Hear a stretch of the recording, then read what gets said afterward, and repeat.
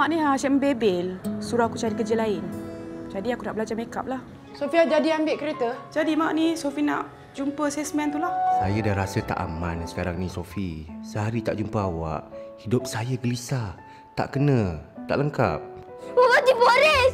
Mama pun tipu Nenek! Mama tengah kenal dengan seorang lelaki. Nama dia Pak Cik Iqbal. Mama yang selalu pesan Kak Haris. Jangan menipu, jangan menipu. Sebab...